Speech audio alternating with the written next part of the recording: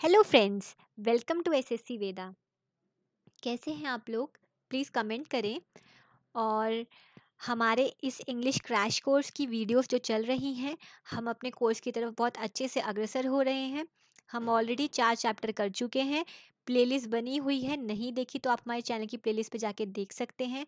वो चैप्टर्स कौन से हैं? Subject verb agreement tenses conditional sentences और आपका क्वेश्चन टैग और प्रीपोजिशन के प्रैक्टिस सेट्स चल रहे हैं। साथ में हमारा कंजक्शन के दो लेक्चर ऑलरेडी आ चुके हैं। आज थर्ड लेक्चर है और आपने अगर वो दोनों लेक्चर नहीं देखे तो उन्हें भी देख लें, क्योंकि उसी के कॉन्टिन्यूशन में ये है। आपको लेक्चर्स कैसे लग रहे हैं? प्लीज़ लाइक करें शेयर करें अपने सभी दोस्तों को। शेयर करें, दोस्तों कमेंट करें। कैसा लग रहा है? मेहनत अच्छी लग रही है आपको? चीज़ें समझ आ रही हैं? आपकी इम्प्रूवमेंट हो रही है? मॉक टेस्ट दिया करें। उसमें अपनी इम्प्रूवमेंट को एनालाइज करें। ठीक है दोस्तों? तो हम लेक्चर थ्री स्टार्ट करते हैं विदाउट एनी टाइम वेस्ट ठीक है? अब है रेदर देन या अदर देन देखो इनके साथ दैन दैन लगता है टी एच ई एन वाला नहीं टी एच ए एन वाला। तो देखो example I would have the watch rather but the pen but कहाँ से आ गया? मैंने क्या कहा था? देन लगेगा कि मेरे पास, मैं आई वुड हैव वॉच मतलब मैं घड़ी ले लूँगा rather than the pen pen के बजाय रेदर देन मतलब के बजाय। इसका मतलब क्या है? के बजाय। ठीक है? तो मैं वॉच ले लूँगा rather than the pen obviously watch अच्छी चीज़ है यार पेन तो कोई भी ले ले। I could rather design but to take part in action मैं designing I would rather resign मैं रिज़ाइन कर दूँगा एक्शन में पार्ट नहीं करूँगा बट बट यहाँ पर क्या बट लगा दिया।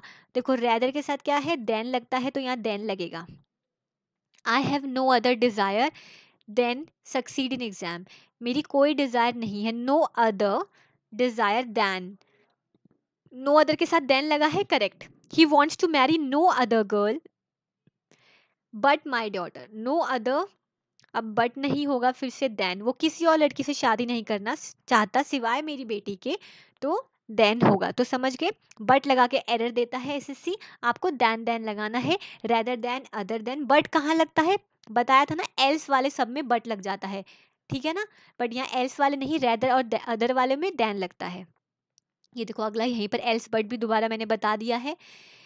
Nobody else than you shall be held responsible else के साथ दैन नहीं होता बट होता है। तो nobody else but you shall be held responsible ये होगा। ठीक है दोस्तों? नेक्स्ट पे आते हैं, नो नॉट नेवर। ये देखो, नो नॉट नेवर इनके साथ और लगता है, कभी भी नॉर ना यूज़ करें। नॉर सिर्फ़ एक ही केस में लगता है, जब क्या होता है आपका नीदर। तो नीदर के साथ नॉर, और और कहाँ लगता है एक और? ईदर के साथ और लगता है, ये बात भी आपको पता ही है, सब्जेक्ट वर्ब एग्रीमेंट में भी बताई थी। लेकिन इनके साथ एरर क्या देता है आपको? नॉर लगा देता है, और आपको लगता भी हाँ नॉट है तो नॉर, या नॉट है तो या नेवर है तो नॉर लग जाएगा, लेकिन नहीं और लगता है।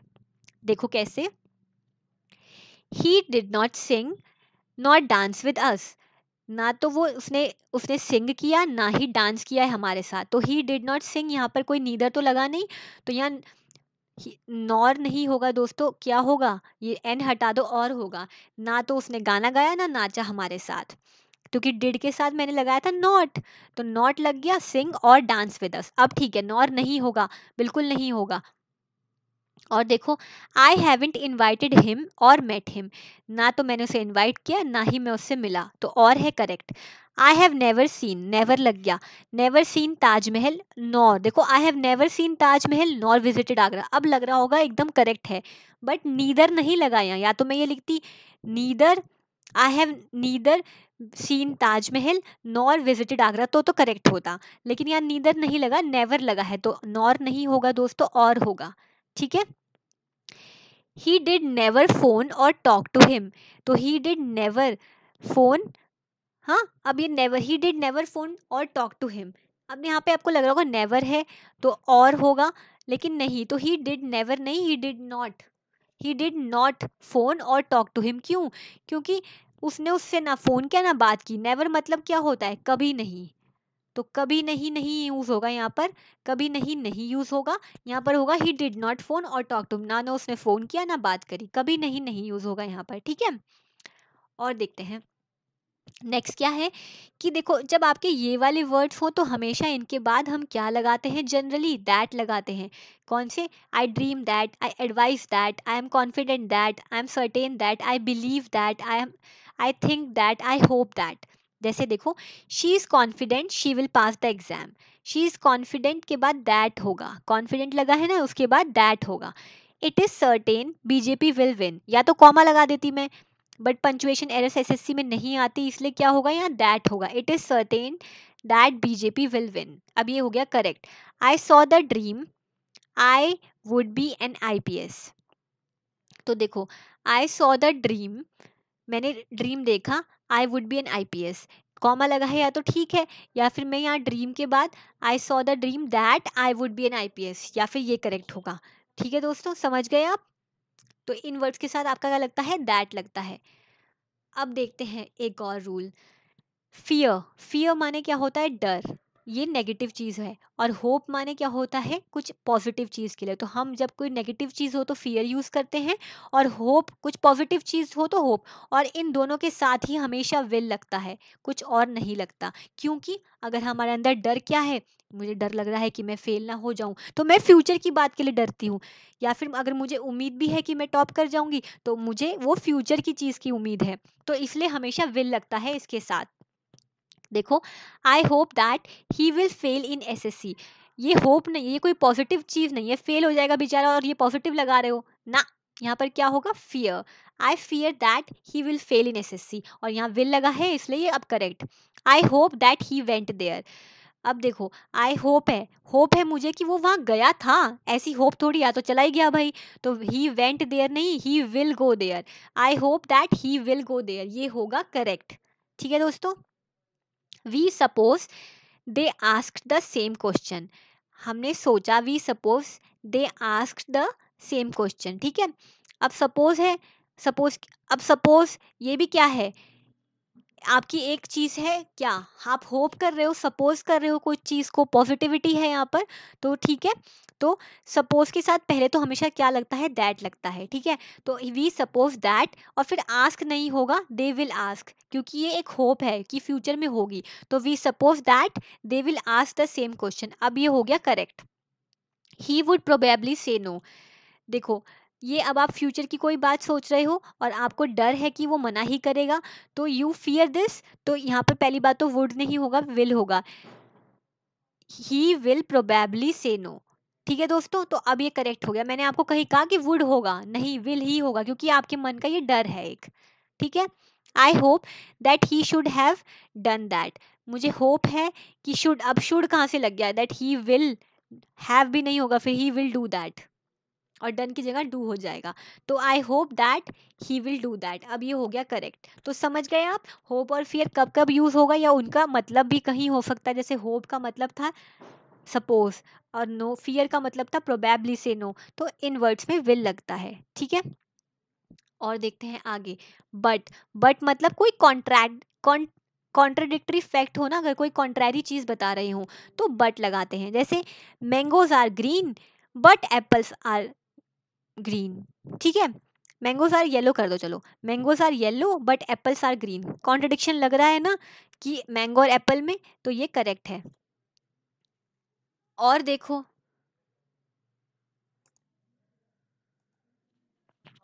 और क्या होगा दोस्तों? देखते हैं।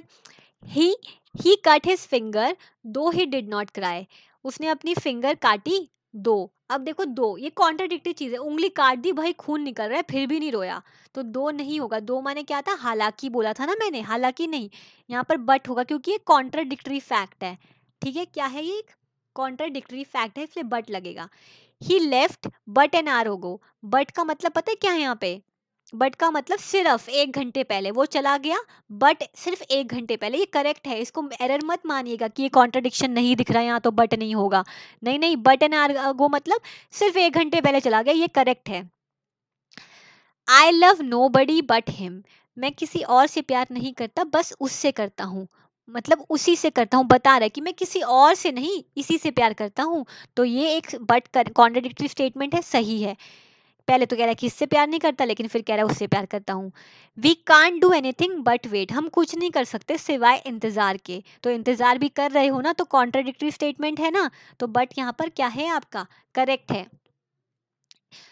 अब ये तो जो बट के साथ जो थे ना, आपके कॉन्ट्राडिक्शन तो थे बट एक्सपेक्टेड थे। हम कुछ नहीं कर सकते सिवाय इंतज़ार के। ये एक्सपेक्टेड है ना? आपस में कहते ही हो, लेकिन जब येट लगता है ना तो अनएक्सपेक्टेड कॉन्ट्रास्ट होता है। आप एक्सपेक्ट ही नहीं कर सकते और कॉन्ट्रास्ट कॉन्ट्रास्ट हो रहा है। जैसे बताऊँ कैसे? He looks very ugly but he has lot of duck diamonds duck diamonds मतलब पता ही है। गर्लफ्रेंड्स है ना? तो वो बहुत ही बदसूरत है। फिर भी उसकी बहुत गर्लफ्रेंड्स है। ये एक्सपेक्टेड है क्या? कतई एक्सपेक्टेड नहीं है। इतने स्मार्ट स्मार्ट लोग ऐसे ही घूम रहे हैं सिंगल और जो अगली है, उनको इतनी सारी गर्लफ्रेंड मिल गई। तो यहाँ पर क्या होगा? येट होगा। क्योंकि एक अनएक्सपेक्टेड कॉन्ट्रास्ट है। एक्सपेक्टेड नहीं था। ये एक्सपेक्टेड था। हम कुछ नहीं कर सकते सिवाय इंतज़ार के। बट ये अनएक्सपेक्टेड है। एकदम झटका लगेगा देख के। तो he looks very ugly yet he has lot of duck diamonds अब ये करेक्ट होगा। और एंड किस लिए यूज़ होता है? सिमिलर चीज़ों के लिए। अब देखो कैसे। He has lots of money and he will not spend a single penny on his girlfriend ये एक नॉर्मल बात है नॉर्मल कॉन्ट्रडिक्शन है तो पहली बात तो यहाँ एंड नहीं होगा बट होगा। अनएक्सपेक्टेड नहीं है एक्सपेक्टेड है, ठीक है but you have had your meal but you should go there for goodness sake देखो, तुमने अपना खाना खा लिया बट तुम्हें वहाँ जाना चाहिए गुडनेस सेक के लिए तो यहाँ बट नहीं होगा एंड होगा। तुमने अपना खाना खा लिया और तुम्हें वहाँ जाना चाहिए भले, भलेपन के लिए गुडनेस सेक के लिए। तो यहाँ एंड है, ये नॉर्मल बात कह रहे हैं, हम एक सिमिलर सी चीज़ कह रहे हैं, इसमें कोई कॉन्ट्रडिक्शन नहीं लगा। ठीक है दोस्तों तो एंड यूज़ किया हमने। अगले पे आते हैं नेक्स्ट क्या है आपका? However howsoever come word में ऑल आर सेम तो ये जब आपके लग जाए वर्ड्स तो इनके साथ क्या लगता है? एडवर्व ऑफ़ मैनर लगता है। जैसे however you speak fast I shall follow भले ही तुम तेज बोलो, मैं फॉलो कर लूँगा। तो however you speak fast नहीं however fast you speak क्योंकि एडवर्ब ऑफ़ मैनर है, और पता है आपको वो हमेशा पहले यूज़ होता है। तो however fast you speak I shall follow you तब ये करेक्ट होगा। ये भी ठीक है, और however he decided to help her उसने सोचा कि वो उसकी मदद करेगा। तो इन सब के बाद क्या होता है? आपका जनरली एडवर्ब ऑफ़ मैनर लगता है however howsoever come what में ऑल आर सेम। ये यहाँ पर ये ये ऑल आर सेम ये इसका मतलब था कि ये सारे सेम है। मैं ये बताना चाहती हूँ, ये ऑब्लिक नहीं है कि हाउ एवर हो हाउस एवर हो कम वॉट में हो, इन सभी का मीनिंग एक ही है, चाहे कुछ भी हो जाए, मैं ये करने वाला हूँ, ठीक है? नेक्स्ट पे आते हैं। अब नेक्स्ट क्या कहता है? देखो, अगर ये वर्ड्स आपको कहीं दिख जाए asked enquired wanted to know demanded question तो इनके बाद या तो इफ़ लगेगा या वेदर लगेगा। ही आस्क्ड दैट नहीं होता दोस्तों इफ़ होता है। एसएससी क्या करता है? ही इंक्वायर्ड के बाद दैट लगा देगा। पर वो गलत है। ही इंक्वायर्ड इफ़ या वेदर, ये करेक्ट है। He wanted to know if he demanded if he question if तो ये सब क्या लगता है यहाँ पर दोस्तों? इफ़ लगता है। ठीक है दोस्तों? नेक्स्ट देखते हैं हम क्या है? बिकॉज़ सिंस एज देखो बिकॉज़ सिंस एज ये हमेशा स्टार्टिंग में यूज़ होते हैं, ठीक है? और बिकॉज़ का मतलब क्या होता है? जब कोई कारण देना हो और फॉर क्या होता है? जब कोई सिमिलर फैक्ट को ऐड करना हो, ठीक है? कोई सिमिलर फैक्ट ऐड करना हो तो फॉर और फॉर हमेशा मिडल में यूज़ होता है। और लेकिन बिकॉज़ जो है, वो कारण के लिए यूज़ होता है। क्या बोलता है आपका? कारण। तो कारण के लिए बिकॉज़ और फॉर के लिए ऐड सिमिलर फैक्ट्स जैसे you are to be punish for you have to be late for today हाँ तो दोस्तों, क्या है यहाँ पर?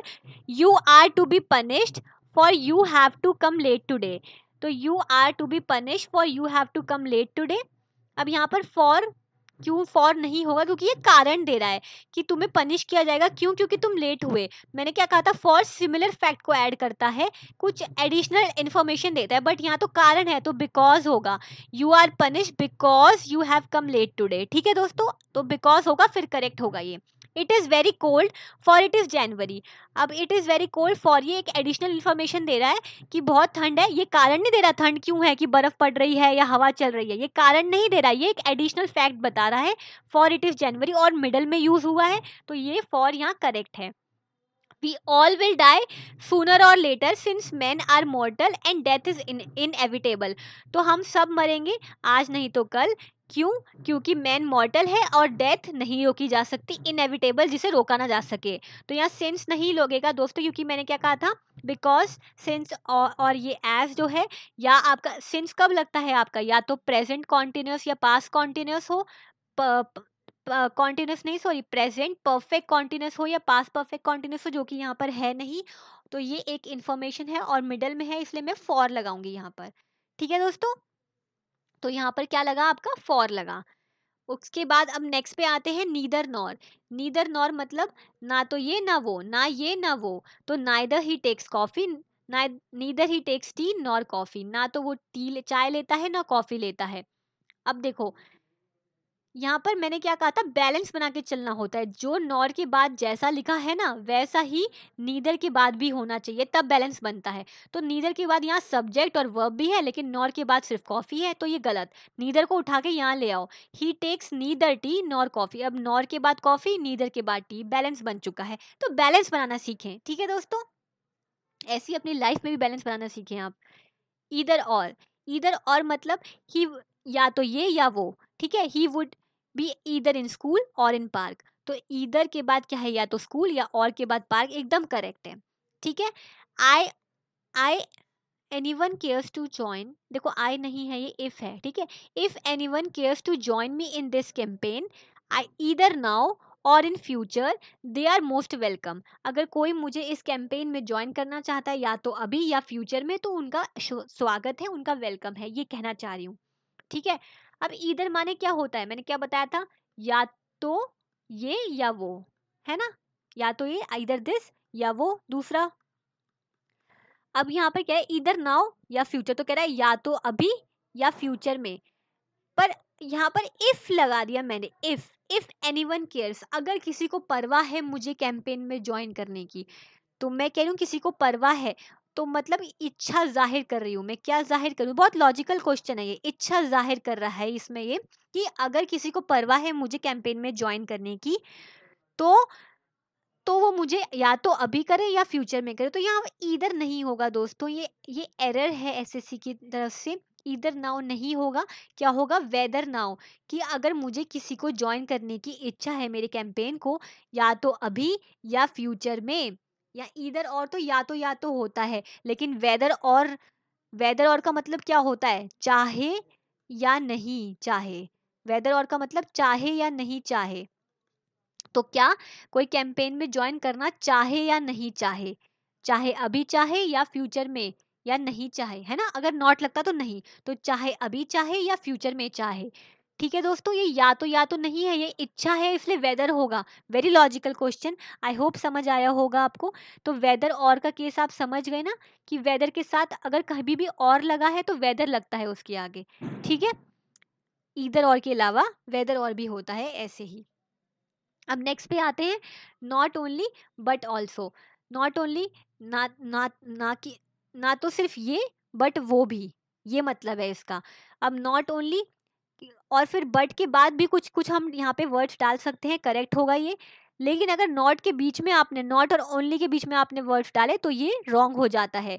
सिर्फ़ बट और ऑल्सो के बीच में अलाउड है। ऐसे ही नॉट बिकॉज़ बट बिकॉज़ में करेक्ट है।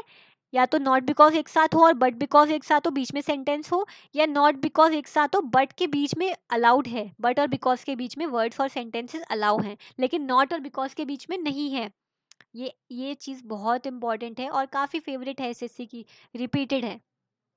देखो कैसे we will not only learn grammar rules but also practice question तो वी विल अब नॉट ओनली के बाद क्या लिखा है मैंने? लर्न ग्रामर रूल्स फिर बट ऑल्सो के बाद क्या लिखा है? प्रैक्टिस क्वेश्चन ठीक है? तो क्या होगा यहाँ पर? अब क्या होगा? देखो यहाँ पर मैंने बट ऑल्सो के बाद सिर्फ़ सवाल लिखे हैं, कोई वर्ब है नहीं।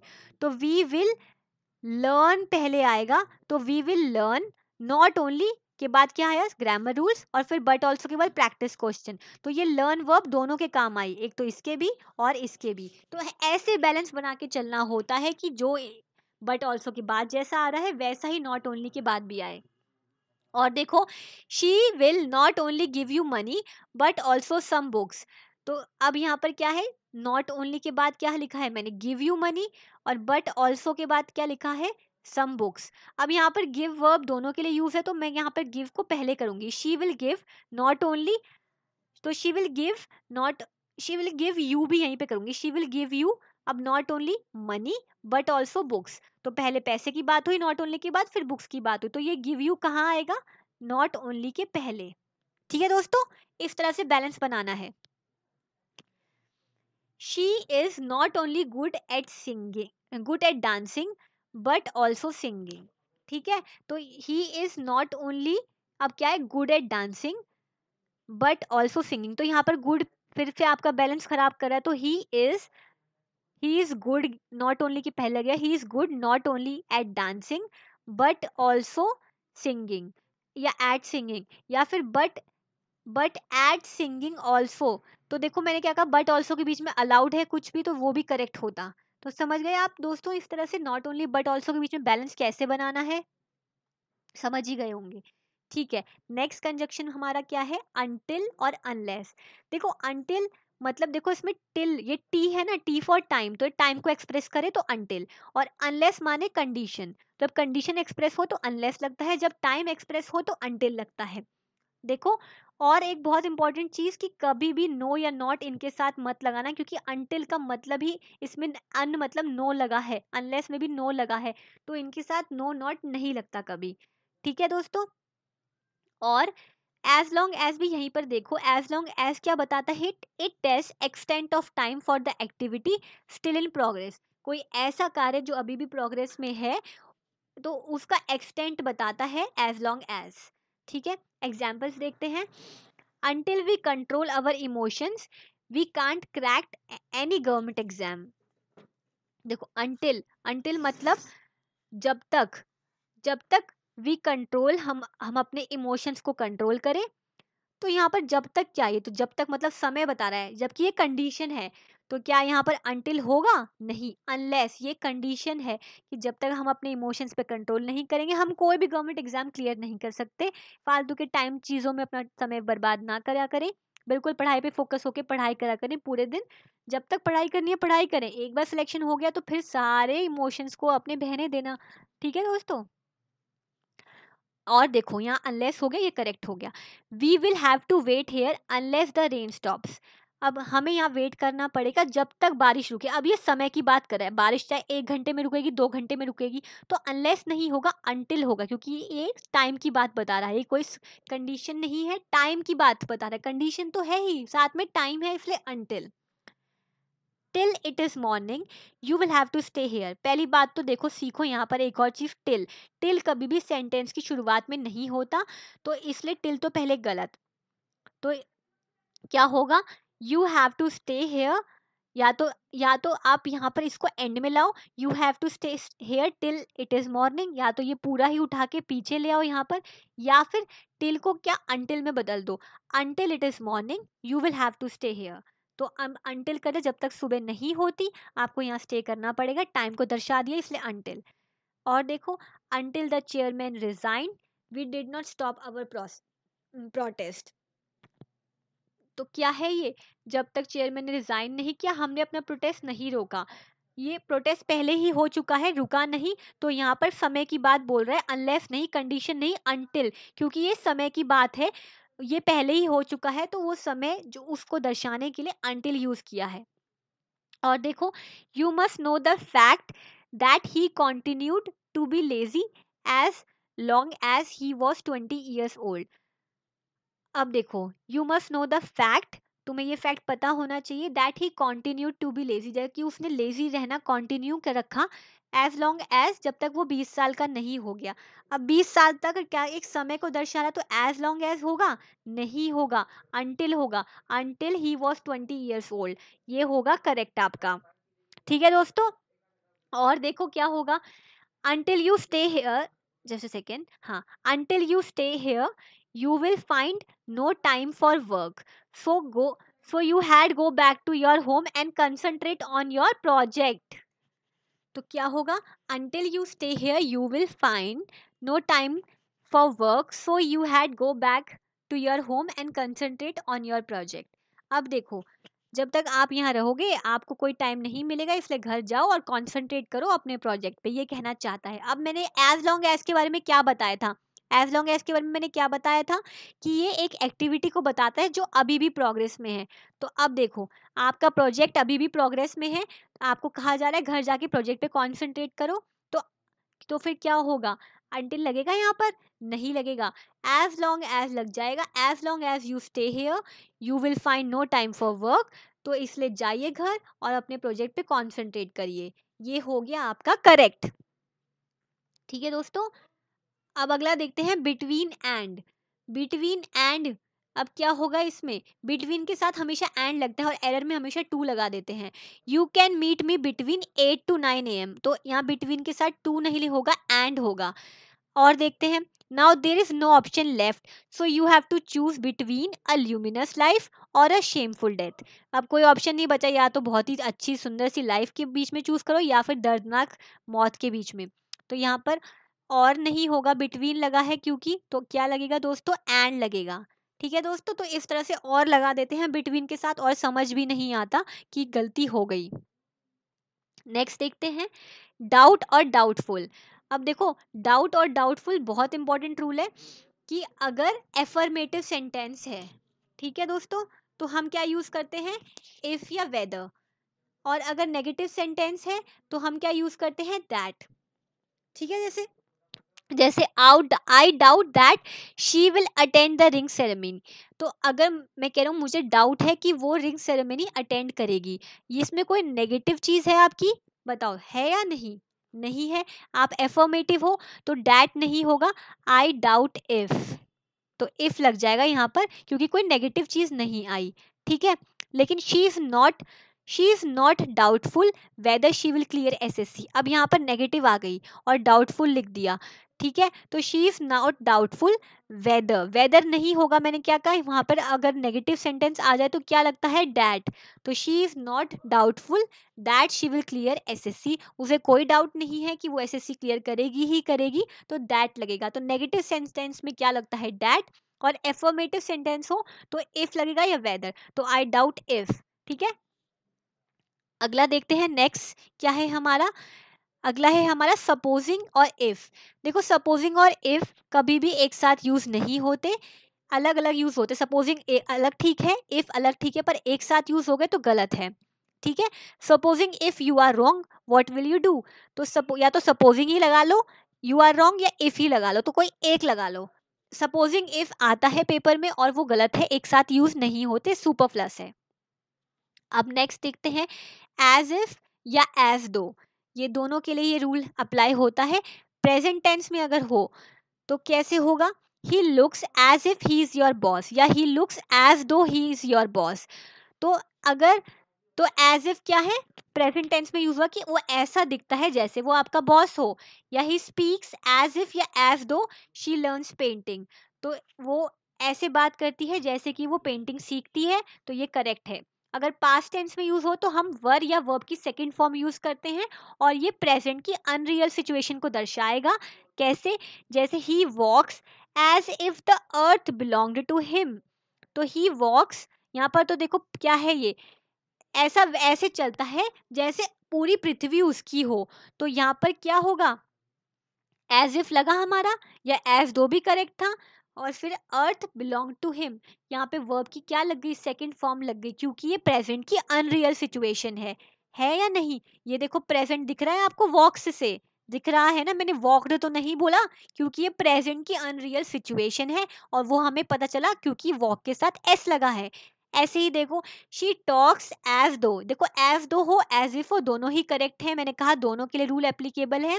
तो she talks as though she were from America मैंने क्या कहा था? या तो वर्ब की सेकेंड फॉर्म या वर लगेगा। तो शी वर फ्रॉम अमेरिका भी ठीक है। और तीसरा ये कब लगता है? पास परफेक्ट टेंस में भी लगता है। जब अनरियल सिचुएशन ऑफ़ पास्ट हो। जैसे he looked at me as if he had seen me before looked क्या है? पास्ट टेंस को दर्शा रहा है अनरियल सिचुएशन ऑफ़ पास्ट और फिर क्या लगेगा? पास्ट परफेक्ट और वो क्या होता है? हैड प्लस वर्ब की थर्ड फॉर्म तो as if he had seen me before तो अब ये ऐसा उस, उसने मुझे ऐसे देखा जैसे पहले भी देखा हो अनरियल सिचुएशन है पास की ये. तो आई होप आपको एज इफ़ और एज दो का ये तीनों केस का रूल समझ आ गया होगा. नेक्स्ट पे हम आते हैं. नेक्स्ट क्या है हमारा?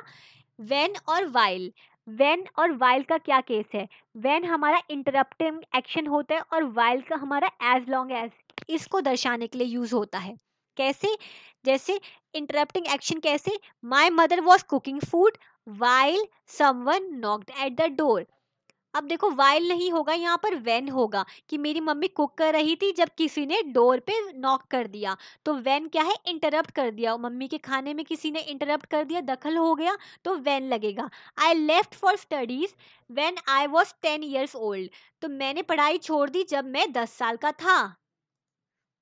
तो क्या होगा? I left for studies when I was ten years old तो ये एक इंटरप्शन है कि मेरी पढ़ाई छूट गई जब मैं दस साल का था तो यहाँ पर वैन मेरा करेक्ट है। लेकिन वाइल कब यूज़ होगा? जब मैं दो काम एक साथ कर रही हूँ, ठीक है? जब मैं दो काम एक साथ कर रही हूँ तो वाइल जैसे while I was batting Ram was bowling तो दो काम एक साथ हो रहे हैं यहाँ पर कि जब मैं बैटिंग कर रहा था तो राम राम बॉलिंग कर रहा था तो यहाँ पर वाइल सही है। और when there is a life there is a hope अब अगर लाइफ ज़िंदगी है तो उम्मीद है ये दोनों बातें एक साथ चल रही है तो वेन नहीं होगा वाइल होगा। While there is life there is hope और देखो walking along the street at night I saw a ghost मैं स्ट्रीट पर चल रहा हूँ रात के टाइम और मुझे भूत भी दिख रहा है। दोनों काम एक साथ हो रहे हैं तो वॉकिंग अलोंग द स्ट्रीट के आगे वॉकिंग के आगे मैं वाइल भी लगा दूँगी तो while walking along the street I saw a ghost तो दोनों काम एक साथ हुए, इसलिए वाइल लगेगा। There goes a beautiful saying that when there is a life there is a hope ये मैंने आपको बता भी दिया, ऊपर तो वाइल हो जाएगा, क्योंकि एज लॉन्ग एज जब तक ज़िंदगी है, तब तक होप है। तो ये एज लॉन्ग एज के मतलब के लिए यूज़ होती है तो इसलिए इसको ऐसे समझ लो या फिर दो काम एक साथ हो, तब भी वाइल लगता है, ऐसे समझ लो, कैसे भी समझ लो। देखो वाइल को हम ना वेयर एज की जगह भी यूज़ करते हैं। While is use for whereas जैसे some people work better to music while others do not तो मैं यहाँ वेयर एज की जगह वाइल को यूज़ कर रही हूँ कि कुछ लोग म्यूज़िक के लिए अच्छा काम करते हैं म्यूज़िक पे अच्छा काम करते हैं वाइल अदर्स डू नॉट जबकि कुछ नहीं करते, जबकि मैं ये कहना चाहती कुछ लोग अच्छा काम करते हैं म्यूज़िक में और जबकि कुछ नहीं करते तो वेयर एज की जगह मैंने क्या यूज़ किया? वाइल और ये है करेक्ट आपका। ठीक है दोस्तों? और देखो नेक्स्ट रूल है हमारा। नेक्स्ट रूल क्या कहता है? ये रूल मैंने आपको बताया था, नहीं बताया। सिंस एज और बिकॉज़ इनके साथ हम क्या नहीं यूज़ करते? हैंड्स या सो या देयर इनके साथ हम नहीं यूज़ कर सकते जब हमने सिंस एज या बिकॉज़ लगाया है सेंटेंस में। तो देखो जैसे कैसे as life is beautiful so we must enjoy every second of it अब एज से मैंने सेंटेंस को शुरू किया तो मैंने क्या कहा था? सो हैंड्स और देर फोर नहीं लगाते तो यहाँ सो नहीं आएगा, इसलिए सो को हटाओ। As life is beautiful we must enjoy every second of it अब ये हो गया करेक्ट ठीक है दोस्तों? अब देखो इन केस या इफ़ इन केस का क्या मतलब है? प्रिकॉशन के लिए होता है और इफ़ क्या होता है? कंडीशन देखो I have brought medicine in case your health degrades तो मैं प्रिकॉशन ले रही हूँ, मैं दवाई ले आई, मैं प्रिकॉशन ले रही हूँ, इसलिए मैंने इन केस लगा दिया। इफ़ नहीं लगा सकती थी यहाँ पर, ठीक है? She always carries an umbrella in case if it rains देखो इन केस और इफ़ एक साथ तो यूज़ हो ही नहीं सकते। तो प्रिकॉशन ले जाती हूँ, मैं अम्ब्रेला लेके जाती हूँ, छाता ले जाती हूँ, भाई बारिश ना हो जाए, मैं भीग ना जाऊँ। ठीक है? She work hard in case work hard in case you want to succeed अब इन केस ये प्रिकॉशन नहीं है इफ़ ये कंडीशन है कि मेहनत करो, अगर तुम्हें सफलता चाहिए तो तो कंडीशन है तो इफ़ तो ठीक है दोस्तों? और ये वाला रूल मैंने आपको बता ही दिया ask wanted to know demanded question के साथ हम इफ़ या वेदर लगाते हैं दैट नहीं लगाते, ये चीज़ मैंने आपको क्लियर कर दी है ऊपर ऑलरेडी अब देखो, एक और रूल है, अगर दो पर्सन या दो things are compared in affirmative sentence तो हम एज एज यूज़ करते हैं पॉजिटिव में और सो एज यूज़ करते हैं नेगेटिव में। ये तो मैंने आपको पहले ही बता दिया था कि सो एज और एज एज यूज़ करते हैं कैसे? लेकिन यहाँ पर मैंने क्या कहा? दो पर्सन या थिंग्स को कंपेयर करना हो। जैसे she is as intelligent if not more intelligent than one of the students of this institute तो शी इज़ एज इंटेलिजेंट पहली बात तो यहाँ एज लगेगा। क्यों लगेगा? क्योंकि एक पॉजिटिव सेंटेंस है। इफ़ नॉट मोर यही इसका तरीका है। एज एज के बीच में पॉजिटिव डिग्री उसके बाद इफ़ नॉट फिर मोर इंटेलिजेंट किन से? अदर स्टूडेंट्स ऑफ़ इंस्टीट्यूट तो इस तरह से ये रूल है, हमेशा एसएससी क्या करता है? एज इंटेलिजेंट के बाद दूसरा एज लगाना छोड़ देता है स्किप कर देता है और यही एरर होता है एज लगाना होता है। एसएससी काफ़ी बार पूछ चुका है इंपॉर्टेंट है। और अब हमारा कंजक्शन का लास्ट रूल है और इसी के साथ हमारा ये चैप्टर भी खत्म होगा। अगोद के साथ हमेशा दैट लगता है। It was more than ten years ago when I came to Delhi with a few friends of mind for higher education SSC क्या करता है? ऐसे बड़े बड़े सेंटेंसेस दे देता है जिससे आपको आइडेंटिफाई ना हो पाए कि गलती क्या है। तो बड़े बड़े सेंटेंसेस की प्रैक्टिस करें। छोटे छोटे सेंटेंसेस में एरर निकालना बहुत ईजी होता है। बड़े सेंटेंसेस में दिक्कत होती है। It was more than ten years ago ago दिख गया मुझे। पहली बात, इस सेंटेंस में एंड में लगा है। मैंने कहा था अगो हमेशा एंड में लगता है। तो इस सेंटेंस के एंड में लगा है सही। उसके बाद वेन लगा दिया मैंने वेन नहीं होगा दैट होगा। It was more than ten years ago that I came to Delhi with a few friends of mind अब ये हो गया करेक्ट और देखो it was almost five years ago since he wrote a letter to me देखने में तो feel आ रही है बहुत कि सही है सेंटेंस लेकिन नहीं सही है अगो के साथ क्या लगता है? दैट लगता है सिंस नहीं लगता दोस्तों। आई होप आपको सेशन अच्छा लगा होगा। अगर अच्छा लगा है तो please hit the like button, share करें। अगर आपको वीडियो ऐसे ही चाहिए, अच्छी और अच्छी लग रही है तो कमेंट करें। प्रीपोजिशन स्टार्ट करेंगे अपना next chapter. Practice sets already चल रहे हैं। ठीक है दोस्तों, अपना ध्यान रखें, वीडियो को ज़रूर शेयर करें। वरना फिर मुझे गुस्सा तो आ ही जाता है, आपको पता है थोड़ी सी गुस्से वाली तो मैं हुई तो अपना ध्यान रखें, take care and bye bye